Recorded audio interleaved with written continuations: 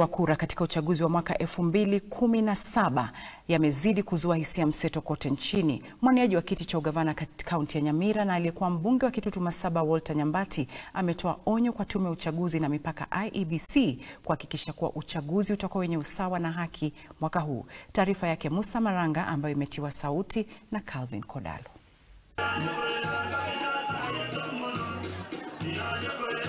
Akizindua manifesto yake ya kuwania kiti cha ugavana katika kaunti ya Nyamira, mgombeaji huyo alilaani tetesi za wizi wa kura, huku akidai kuwa wapigaji kura walitarajia uchaguzi wenye haki na usawa. Na hii uchaguzi ambayo inakuja tunataka iwe ya haki na kweli. Sisi wale wa UDA tumesema tutakubaliana matokeo yoyote kama yako ya ukweli na haki, ama namna gani?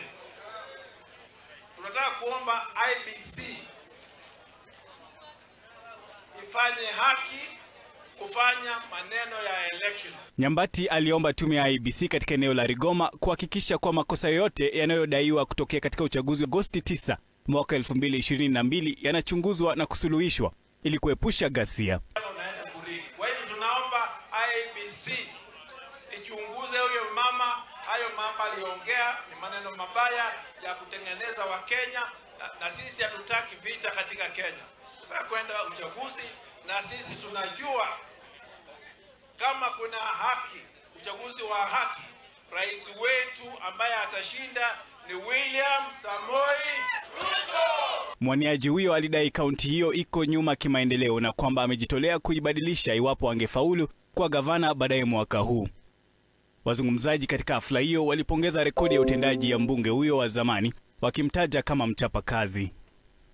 Mmoja wa wanasiasa waliowagombea kiti hicho cha ugavana, Daktari Ainea Nyakiba, alidai kuwa naibu wa rais William Ruto alifaa kuungwa mkono kumrithi Rais Uhuru Kenyatta. Nyakiba alimsihi Rais Uhuru Kenyatta kuruhusu wapiga kura kufanya maamuzi yao katika uchaguzi bila ushawishi wowote.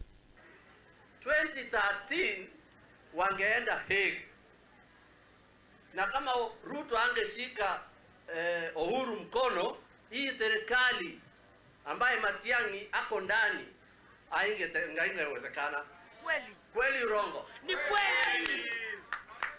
Usiweke bridge alafu wewe ukipita utoe hiyo bridge, sivyo? Tusidanganyane, tuseme ukweli.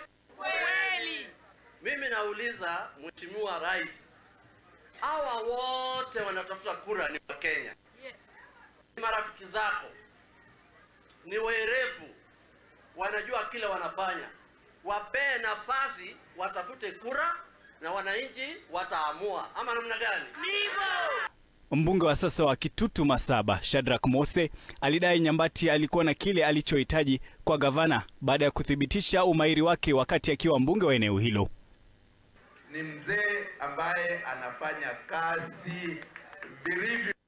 Na tukiachana na hayo ni kwamba serikali ya kitaifa pamoja na baraza la wanahabari nchini